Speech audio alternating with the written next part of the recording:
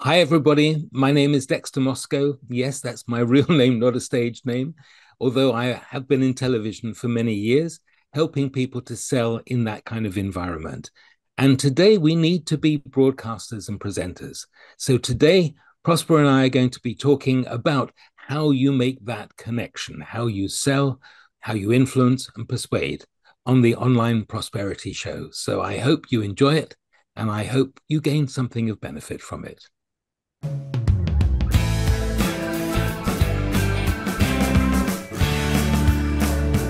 Welcome to the Online Prosperity Show, and I'm your host, Prosper Taruvinga. In today's episode, I have a very special guest, ladies and gentlemen. Dexter, how are you doing, my man? I'm doing very, very good, Prosper. Thank you so much for inviting me at your time zone and my time zone here. It's a delight to speak to you.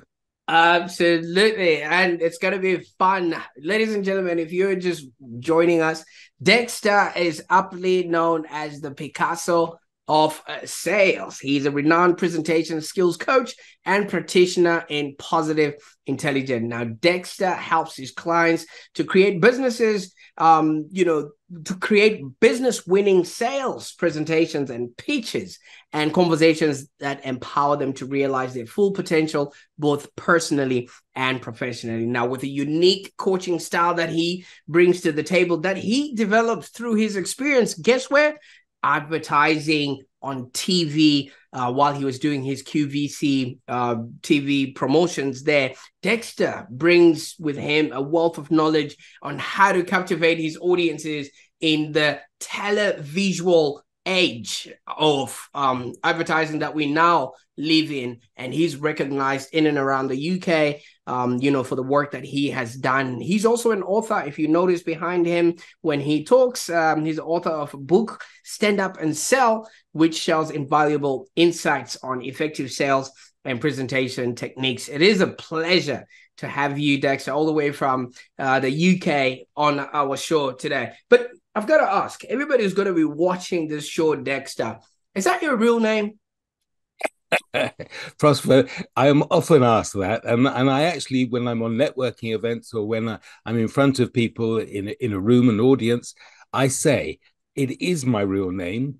Um, it is not a stage name, but as you've already referenced, for many years I was on TV for QVC, the shopping channel, um, which is a live shopping channel. It presents various products, and I was both in front of the camera and behind the cameras. So yeah, the the name Dexter. It's an American name. Moscow. I, nowadays, I hesitate to mention my surname for the obvious reason.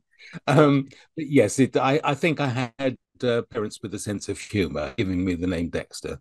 Fantastic. we were talking about parents with that sort of sense of humor when I was saying, hey, my name also carries a bit of luggage there. I can't be seen on the side of the street with a sign sticking out saying, hey, say, spare me a dollar. Um, you know, my name is Prosper. So at the end of the day, I'm really happy that we have you on the show today. Now, can you just tell us a little bit about your journey and how you became a presentation skills coach and a practitioner in positive intelligence? I, suppose it's true to say it was by accident. Um, I started many, many years ago in advertising, and I, I suppose that's where my love of words was created. Uh, I really enjoyed that. And I, I helped in the production department. So we got adverts into the newspaper. So I think at some point I was always involved in advertising. Um, and I this was really came about from, I suppose, from my dad. Um, I lost my dad when I was only 10 years old. And he had always wanted to be a copywriter. And there, there is a song by Mike and the Mechanics called The Living Years. And there is a part of the lyric says, that we are held hostage to parents' hopes and fears. And so I think psychologically, that's where I wanted to be. Um, unfortunately, I was made redundant uh, because it was the time when cigarette advertising was banned on TV. And overnight, we lost a million pounds. And that was a long, long time ago. So it was a lot of money. Um, and then I went into practice with my brother as an estate agent people, please don't hate me. In in England, people don't particularly like estate agents, but um, certainly I, I was there for a bit of time, and I trained negotiators how to be more effective in their communication, if you like, with people. And I suppose that's led me to where I am today. A, a, friend said, I know you train people. Would you like to appear on QVC selling some um, and this is some time ago now, recording equipment, TV recorders, um, VHS recorders. So I said, yeah, sure. What's QVC? I, I didn't even know that it was a live TV channel. And a lot of what I do now, helping people sell in, as you said before, in this televisual age, because I believe, and you are uh, an example of it, we are all broadcasters and presenters. And so what I do is I work with my clients both in front of the camera and in live situations, so on Zoom and in the room, to help them present themselves more effectively so that they win the business they desire, which I, I suppose is one of the reasons we're, we're chatting today. Fantastic. And just to acknowledge, um, you know, the passing of your father, even though it's um, ages ago, it's just one of those things that you don't want to experience um, you know, as a kid. But you did also reference that your dad's influence, you know, being who, um, what he expected of you now, you know, sort of has culminated into this, and then your background as well when it came to, um, you know, advertising and property, um, you know, also brought you towards where you are now. Now, how has this background, especially the one in advertising, and you also mentioned the people in the UK don't like property and TV, influence your coaching style that you are uh, giving people at the moment? In fact, you've just mentioned the word influence.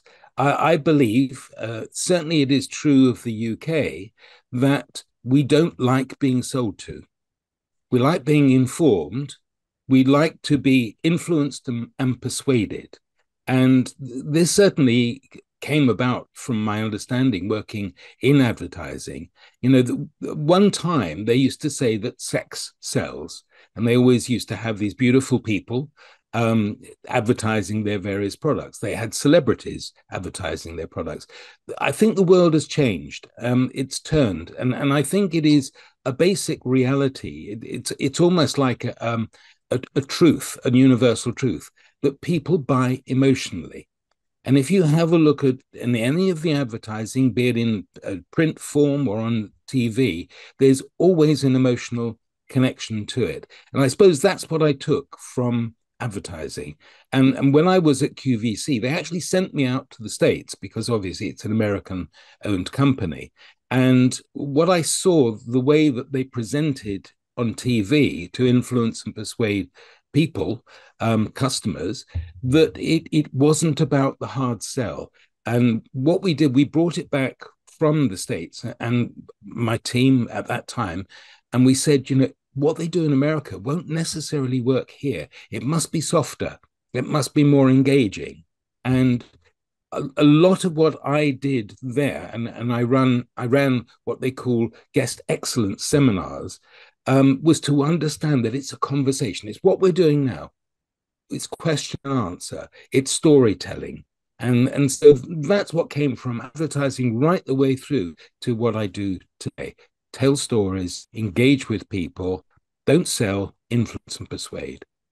Absolutely, because people like buying stuff, but they don't like being sold to. And the whole concept of QVC is show and tell, you know, and it basically is showing people um, you know, cutting, you know, onions with just one one slice of a knife, and you end up with 36 knives that you're never going to be able to use. But it's just basically how it works. Now, you also keep alluding to the fact that what we're doing right now um, is part of what you call the televisual sort of age. We are now all broadcasters. Can you just elaborate on this concept of this televisual age and why it's very um, crucial for individuals? to create engaging and entertaining uh, presentations, especially when they're trying to sell their products.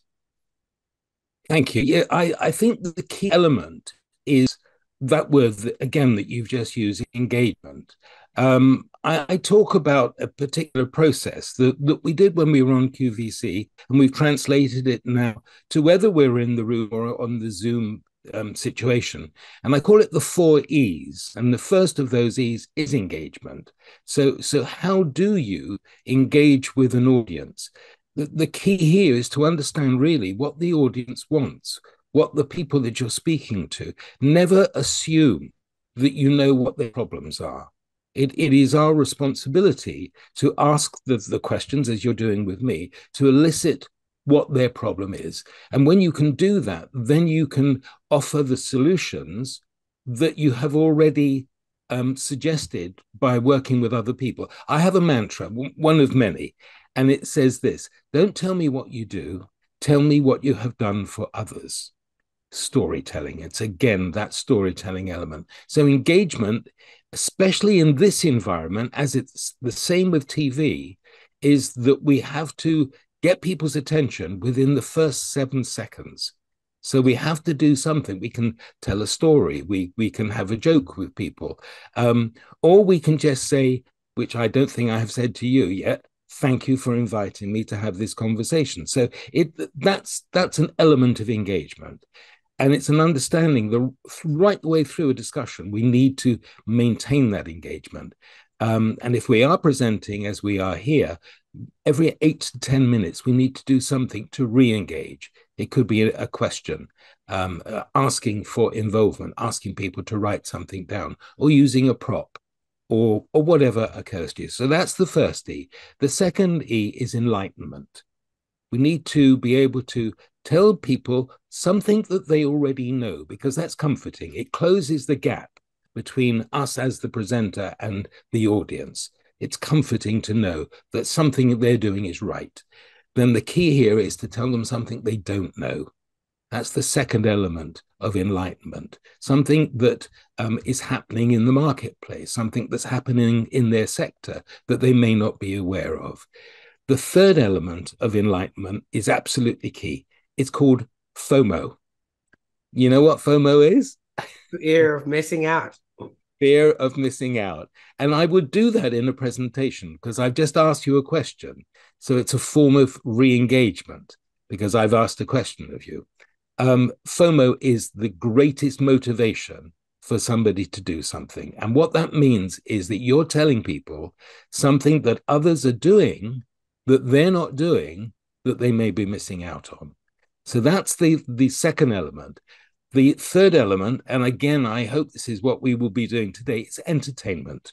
If you've got an audience, you've got to entertain. That can be telling a joke if you're good at telling jokes. It certainly is using appropriate slides. I don't believe in this environment in slides are worthwhile because you want to engage with people. You want to see them, they need to see you. The only time that I would ever use slide um, is to illustrate something. Never ever use a lot of words because the audience will read ahead of you. And that's true when you're in the room or in your in this environment. So entertainment is about having a bit of fun because if they're having fun, we're having fun. That's one of the ways to communicate. The fourth E is actually what we've just talked about. It's about excitement. You've got to be excited. If we're not excited, how the hell are we going to make other people excited? And then that, I've actually said the four E's, but there's another one. And we've already touched on this one emotion. Make the emotional connection. Again, we need to be emotionally connected to what we're talking about. And hopefully, then our audience will be emotionally connected to us so that they can decide whether we are nice people to do business with. And that that's the key. I, I, hope that's beneficial. Absolutely because you know all those five e's you promised us four but you gave us an extra one for good measure you know and that's absolutely incredible. The engagement the enlightenment the entertainment the excitement and the whole emotional connection because if people are not connected to a story or people are not connected to a message there's no way they would think that is of relevance to them now obviously this is part of what you're teaching people and this only comes in with maybe the second E, which is the enlightenment, where people are actually learning something new, um, you know, that you would have taught them. Now, in your coaching experience, what are the most common challenges that individuals are facing when it actually comes to maybe delivering an effective presentation or a pitch that actually gets them to win business? I, I believe that the, the key element of any successful pitch presentation is something that we've alluded to. It's really understanding what the needs are of that person that you're speaking to, whether it's one or many. It, it is our responsibility, almost like a doctor, to find out the real pain, the real problem. And I use those words advisedly, you know, because sometimes you see people talking about the challenges that we're experiencing. A challenge for me is something that we can overcome. It's like throwing down the gauntlet and somebody say, Yeah, I can resolve this for you. But when you talk about, and it, this is semantics, but words are important. If it is a problem, if it is a pain that is keeping them awake at night, and and you know there are very many reasons now where people are in pain or in fear. Um, we know what's happening in the wider world. We know that people are under pressure financially. Um, you know, prices are rising, energy costs are rising, all, all of this thing. So, what we need to do, we know that's the surface pain. What we really need to do is dig deep, deeper um, it is our responsibility, like it would be with a doctor, not to find out what the symptom is, but what the real cause is. And that the only way we can do that is by asking questions. And, and again, a mantra, a mantra never assume you know, because assumption kills the deal every time. So that's for me, that's the absolute key whether you're talking to one or many, find out what are the problems they're facing, the fears and concerns that are keeping them awake at night, and then see if we can help them by telling a story. And there is a story uh, framework which, which I'm happy to to talk about. Um, it's a two-minute storytelling framework that identifies the incident of what you came to hopefully solve a problem for a client. Again, that word problem. So, what was the situation that the client found themselves in? What was the action? That's the second element of the storytelling. What was the action? And actually, is the main body of that two minute presentation, that two minute storytelling. What was, what did you actually do to resolve the problem? And the third element is the benefit statement. What was the benefit of your involvement. So, incident, action, benefit. And if you can quantify that benefit in terms of financial gain, money saved, time saved, or the retention of talent, that's a major problem at the present moment. If you can illustrate how you have helped somebody in that way, you don't need to sell to them. They will say, You can help me in exactly the same way. So allow people to step into somebody else's experience, and then you don't need to sell. You are influencing and persuading. Absolutely. I love that because storytelling, we we are as human beings societal at the core and the way we learn is through stories like anything that um you know conveys a message that is worth remembering you know it's told through a story. Like you told you like the story of of your dad and how michael and the mechanics has that song which you see all those elements i can remember because it came in story format okay? And now that we are maybe working around um you know sort of virtual um basis okay? We we've got to show up on a zoom meeting like this and you may have apologized to me earlier saying oh maybe my internet is not going to be working. Do you think this setup presents problems than when people are speaking face to face because then you can be able to pick up on cues. Are they enjoying my story? Are they um you know taking what i'm saying? Do i need to explain a little bit more? Because you could be frozen right now and i wouldn't know whether you receiving the story or not you know what i mean yes. and and and uh, you know do you think um there's a difference between virtual selling and um, the selling in, in you know face to face. Yes, I, it's a, an excellent point. Uh, I think that we are hidebound by our technology. We, we, need to be aware of how to improve um, the, the how we are perceived, um, certainly on a mechanical level, so that we need to have proper lighting. Um, if we can put a background up, then and and this is an interesting point that you've made. You, I can see, are in your your room in your library. Um, and so you've got books that, that, conveys a certain atmosphere. I decided, rightly or wrongly, to put these two um, frameworks up, these, these, books, because that's what I do partly. Um, so I think that yeah, it's it's the image you want to convey. If you are in a group situation where a lot of people are showing their background, their room, then I will change this. I will um, move it to a, a, neutral, or I will actually show my room behind me. So I'm in my my study as we speak. So um, yeah, that that is it's about perception, and it is about making sure that you are connecting with people. Uh, there are different cues, as you quite rightly said. We have to be much more aware of people drifting in and out. We're looking at their eyes, making eye contact, listening very careful to their voice and tonality, and being aware of, of how people receive and perceive information differently. So if I was talking to somebody who is very visual, I would speak very, very quickly like this. If I wanted to just make the words hang in the air because for some people words are important, I would slow it down. Where we want people to be, and I would slow it down completely because that's at the level of emotional connection. So we have to be aware of those kind of cues that we use in this environment.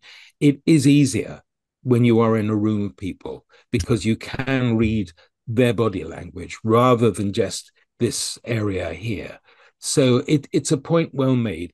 And we need to be aware that the only thing that we can do in this environment, and we've said it before, is not sell, but make that connection so somebody can decide, especially when we're faced in networking situations with lots of different images of people. The only thing that we can do is for them to decide is that a person I can work with? Do I trust that person? Are they authentic? And I apologize for perhaps a slight profanity, but this screen that we're looking at is the biggest bullshit monitor. People know whether you're bullshitting or not. And it was the same at QVC. This is why when you watch things like this, when you watch these online shopping channels, we need to make that connection with the presenter. If they can't do that, then they are losing their audience. And the same is true of us.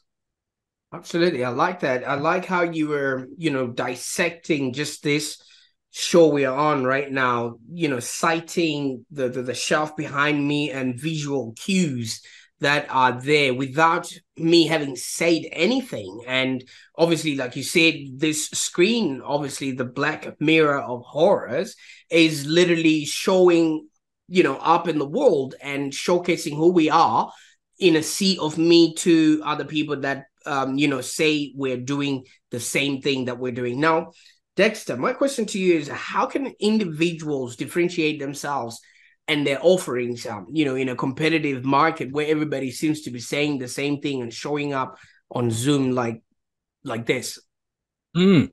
It, you know, this is a very interesting question and a very relevant question, um, and it's the um, my answer comes from research that that I've just been aware of, and it's quite frightening actually for anybody that is selling a service um, themselves or a product, and that is, uh, and this has come. I haven't actually got the um, particular organization in front of me to be able to quote this. I, I can perhaps send it to you.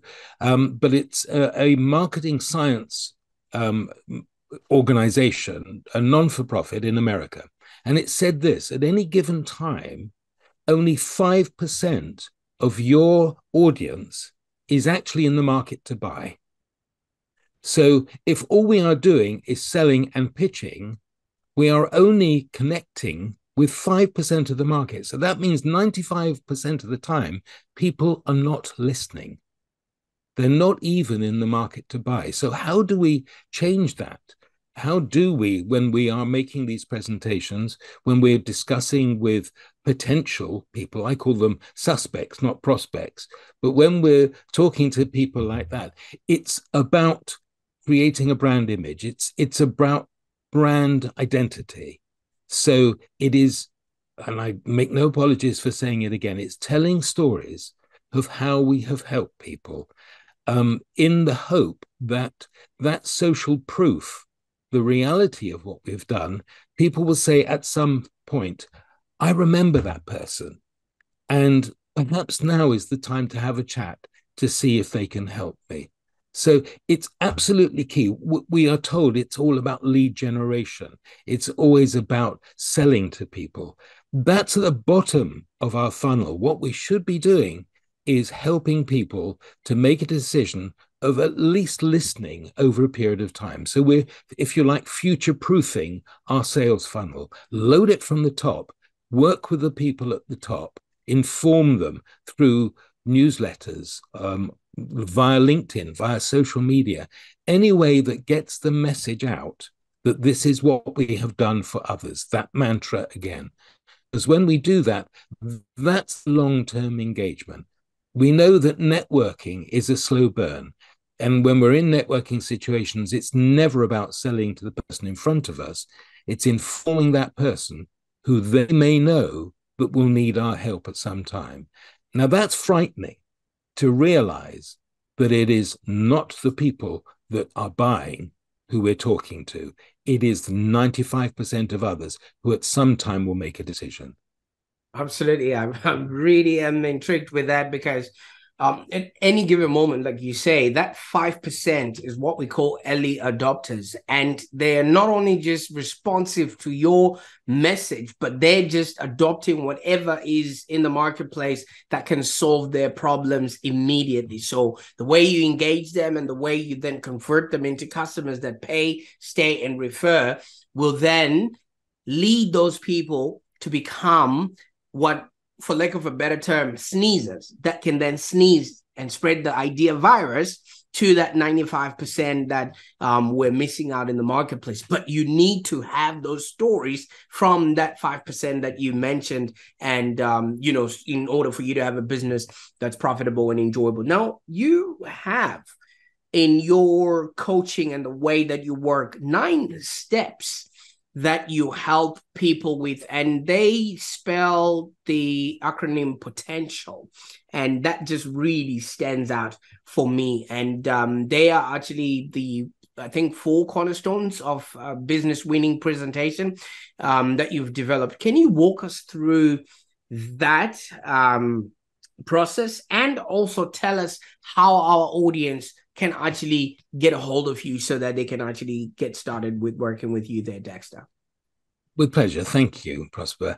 The, the nine steps of sales potential, uh, it is an acronym, um, the potential word. Um, and it's uh, one just thing to say is that if people are going to use acronyms, explain them. You know, to, to give an acronym without an explanation, and people are just sitting there thinking, what the is he talking about? Um, so, so let me run that through to a certain extent. Um, potential, the key here is about keeping control of a sales conversation because we know what normally happens. We normally abide by their sales process, and their sales process tells us that okay, tell us what you think you can help us with, give you give us your best ideas, send us a proposal, and then they disappear. Or they get worst of all, they give it to a competitor. So potential keeps us on track and them. We are in command of that conversation. So the P for potential, and I'll run through this quite quickly, is personal impact. So what how do we start a conversation that creates that authenticity, that emotional connection? So it's always there, that emotional connection. The O is objective, if you like, the agenda what is it that we're going to talk about? And it assumes that we've already had a preliminary discussion with somebody, um, and that therefore we need to create the agenda. And the, the purpose of the objective is a mutual objective, not only what we want from the, the conversation, but what they want. That, again, that research. And it leads into the T, which is trouble. That's the pain. And there we spend the longest time on this step because we want to find out what the real problem is. You know, you go to a doctor and you say, I've got a pain in my shoulder. And the doctor turns around and says, Take two pills and come back and see me in a week. We are ill used there. And the doctor doesn't do that. What he will say is, Well, have you been picking up something? Have you been twisting badly? Have you lifted a heavy weight? They seek to find out what the root cause is. That's our objective on that trouble step. The E of it is everybody. Often we find that we're talking to somebody who are not the decision makers. And so we need to find out who is going to be in the room. And we can ask that question. You know, I obviously, and I always say this when I make a buying decision, I have a chat with my wife.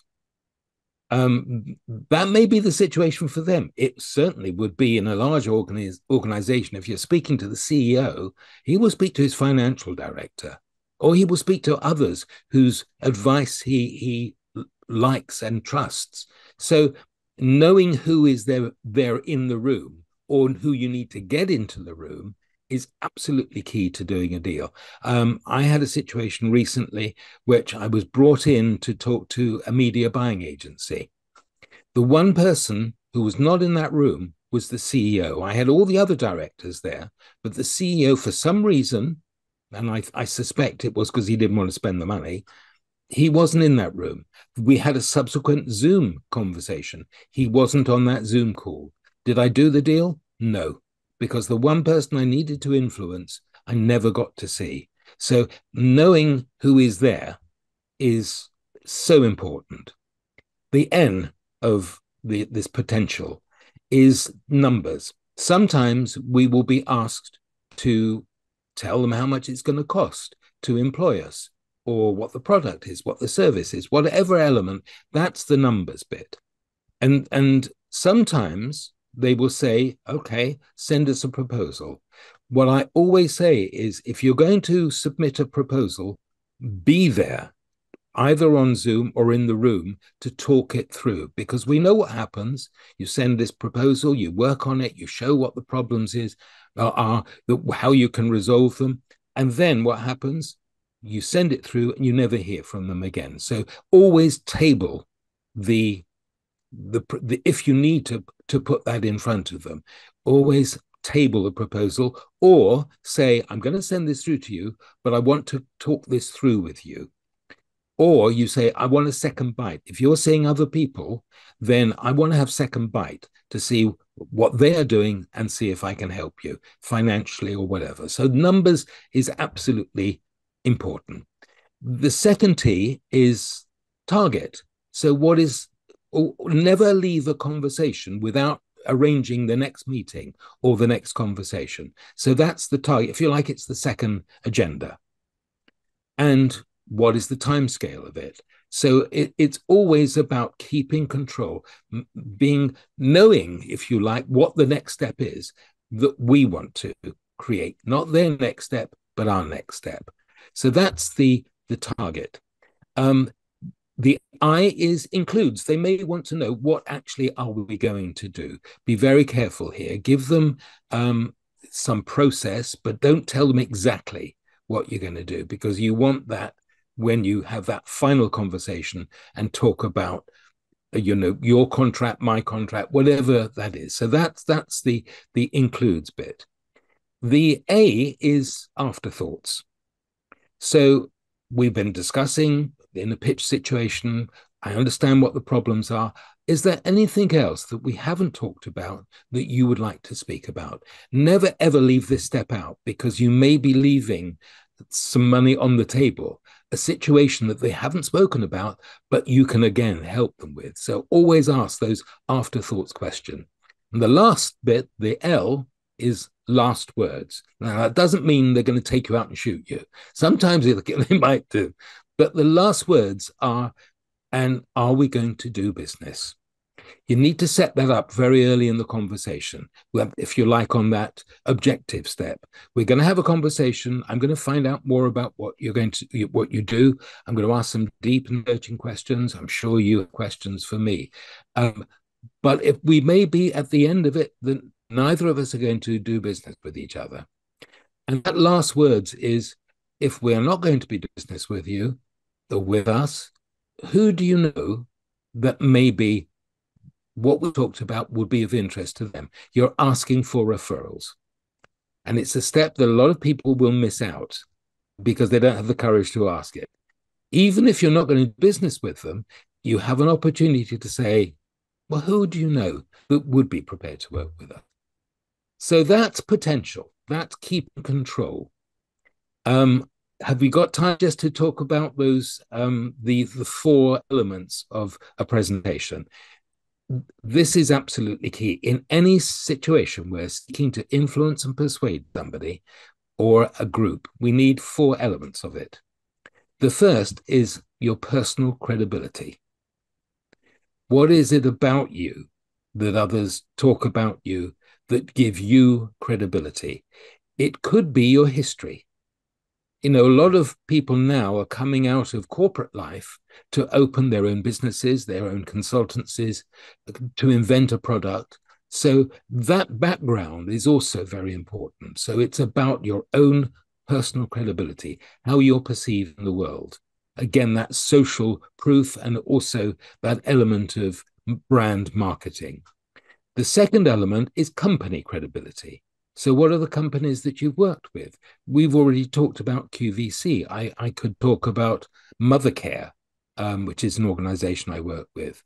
The third element is the facts. What are the fact that logic part of it? We've talked about the emotion, which is the potential.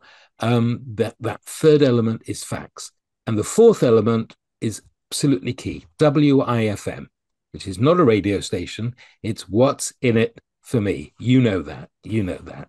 So those are the, the frameworks that I use constantly to create pitches for people, to pitch myself to my prospects and suspects, um, and to keep control of conversations.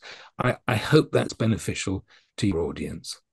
I I was actually expecting and anticipating somebody to knock on the door with an invoice because you know you should be charging for this TED talk right now. So if you're watching this right now, you should actually uh, jump on and you didn't tell us where people can get a hold of you so that we can put that what? in the show notes there.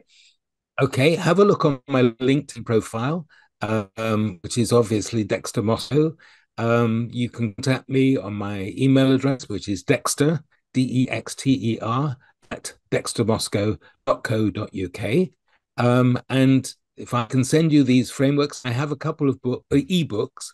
Um, one which is called um, My Little Red Book of Dexter's QVC Selling Secrets, um, which they can download uh, free on, on the website, um, and also the seven keys to a perfect presentation. Perfect, again, is an acronym giving you seven steps. I believe P E R F E C T. Yes, seven steps of how you start creating a presentation that influences and persuades. So if somebody's interested, if you if anybody's interested to have a chat, then please drop me a line and we can have a conversation as well. For sure. I will make sure all that information is available in our show notes and it's only a gift for people that have been watching up until here. So for those that uh, decided to skip on to the next video, they're going to be missing out uh, on all this excellence. And thank you so much for um, uh, sharing your expertise with us on this. Now, somebody might be, you know, you while you were talking, you know, you did mention um, a couple of times where you would have, you know, the CEO never showed up to the meeting and maybe the deal didn't happen. And obviously that happens with quite a lot of people, um, you know, uh, in their day to day selling um, endeavors. And there's successes and then there's failures. And with your processes and frameworks, it looks like everything is really designed to be in the, um, you know, the side or in the puck or the, you know, the court side of the person who's actually doing the the the selling. But Can you maybe share with us maybe um, a couple of case studies or, or examples of how your coaching methodologies have actually helped clients um, you know achieve significant improvements in their sales presentations or communication skills or you could just allude to a product that actually um, you know people would have bought on um, QVC, which would have been, um, you know, a, a child or a brainchild of your expertise. Okay, thank you. Yes, I will do because obviously these processes have to be borne out by fact um, and, and, not just a process. Um, the the first one, I, I, suppose, is something that happened quite a few years ago. I, I was retained by Sainsbury's, um, which is one of our supermarkets over here, um, and they build superstores. And this is, was during my property years. Um, and actually, it was one of the impetus to move away from residential property, which is very emotional um, and very straining. And I didn't particularly like the the ethos of you know say I've got this. Oh, can you over overbid this? I didn't like that. So when Sainsbury's approached me, they asked me to buy. Would you believe a street of houses? Because they had very long gardens, these houses, and we were chopping off back gardens so that we could improve the um, footprint of the store. So I had to speak to all of these people to try and buy their houses. There was one person who held out, and his name was Mr. Khan. And he wouldn't even speak to me. But on one occasion, he phoned me and he said, um, I'm not going to move. I don't want to move. What are you going to do about it? So I said to him, Well, what do you want me to do about it? Because, you know, the store is going to be built. He said, Send me agent's details. So I went to every agent in the area and I got a stack of details and I left it on his doorstep. He phoned me back and he said, Mr. Moscow, you're unprofessional. And I, the hackles on the back of my neck really stood up because I, I pride myself on my professionalism. And I said, why? And he said, Well, I went to these agents, they didn't know me. And I used the same level of anger in his voice that he used to me. And I said, That was not the deal. All I ever did was to give you the details. That was not part of the deal to make introductions. All I've ever wanted to do is come and see you. And he said, I'm here Wednesday. I said, It's not convenient. I'll be there Thursday. It's a device. So I was in, I sat in my car outside his house and I thought, how am I going to persuade this man? And the word came to me, and it was from meditation. I went to a meditative level and I thought, what do I need to do? And the word history came to me.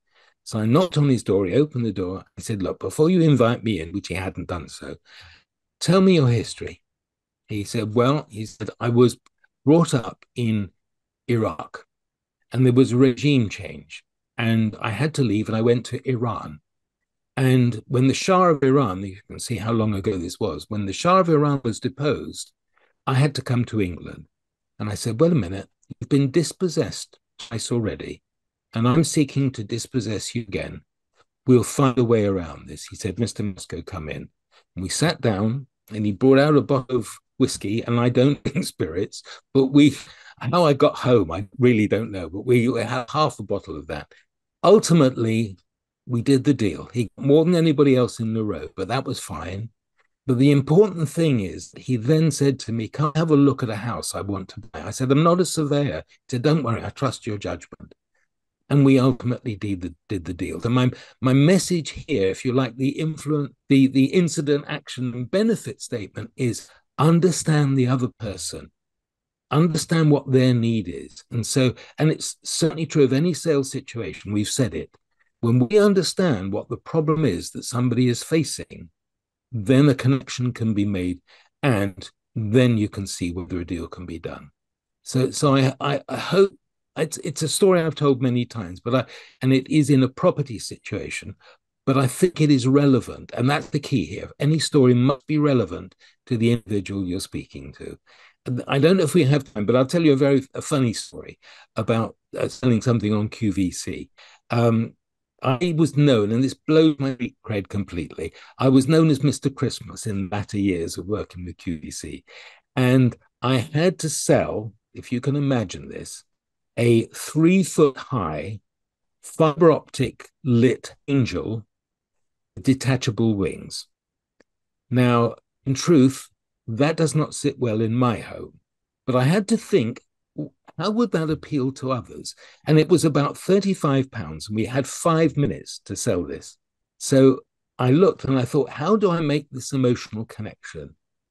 And I thought, I know how to do this. So I said, this I um I don't know if you believe in angels. I actually do believe in angels. I believe that dad is one is my guardian angel. And so I said, what you have here is the actual image of perhaps what we believe of as an angel. And it's lit beautifully. It's got all these different colors. It's very Christmassy. And the detachable wings means that you can store it after Christmas.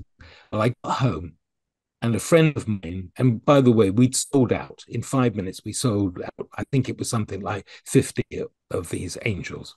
I got home and I couldn't see my um, message machine, um, answer machine flashing. And I picked it up and I could hear that Dex, the angel, detachment. It was a friend of mine who could almost not speak. She was laughing so much. And she said, Here's Colin. Colin, I went to school with. And he said, in a very measured voice, Dex, if an angel has detachable wings, how the can it fly? And Oh, so sometimes it doesn't always work. Absolutely. Oh, what a beautiful story. So, just putting it all together, all I'm hearing is whiskey is good for you and some angels don't fly. But putting together whiskey and angels, have you ever heard of what's called angels share in terms of whiskey? No. Absolutely. so so when they put whiskey in a barrel, the one that evaporates, they say that's the share of the angels. So putting it all oh, together, wow. there's there's there's a lesson to be learned about drinking a lot of whiskey there from Dexter. You've heard it first from the online prosperity show there. No, I'm really excited with what we've created here, Dexter, and I know you definitely bring a wealth of evi- um, you know, um, experience. And you know with your exposure we in this advertising sales and also real estate sort of industry there's a lot um you know uh, that you are sharing with us here. Now we've heard about you know what was happening in the past with QVC we've heard about what you're doing right now. And if people are now interested in jumping on the Moscow bandwagon. What can we expect um, in the future, Dex? Um, you know, in the work, in the works and stuff that you're going to be bringing, um, you know, to the table. Thank you. Um, obviously, the book um, Stand Up and Sell. I think I should revise the title now. It should be Sit Down and Zoom as well. um, that tells a lot, lot of stories uh, about um, my experience with QVC, um, also um, exercises and lessons to learn of how we present more effectively. Um, what I'm doing now, I recognize that people are in a lot of fear. Um, and it, it isn't just about selling, it's about um, thinking correctly. And it's one of the reasons that I published recently, I think about six, six or nine months ago, um, my book, A Voyage Without My Father. Um, it is a memoir, but it is also a self help book. And again, it, it, comes from that lyric, that um, the living years, where it says, I was not there that morning when my father passed away. And it, it's in this, the um, lyric of the song, it's very emotional. You can hear that. Um, and what I recognize is that my experience of not being able to say goodbye to my dad because kids were not allowed into hospital wards at that time is a situation that so many other people faced during the pandemic, not being there to hold the hands of their loved ones. And so I published this book um, also to give people the courage to be vulnerable. Um, and it translates to what we've been talking about. So many people are fearful of standing up in, to a group of people or in a group of people or even presenting in this environment. So a lot of what I do now is to understand what, pe- what people are going through emotionally, that word again, so that I can take them from that pain that they're suffering of loss, of grief, to growth, and then to gratitude, and then move that into a an environment through positive intelligence which identifies voices in our heads that prevent us from realizing our full potential, and then linking it to helping them to sell better, to influence better, to be better, if you like. So that's that's my motivation. I'm of an age where perhaps I could retire. I don't want to.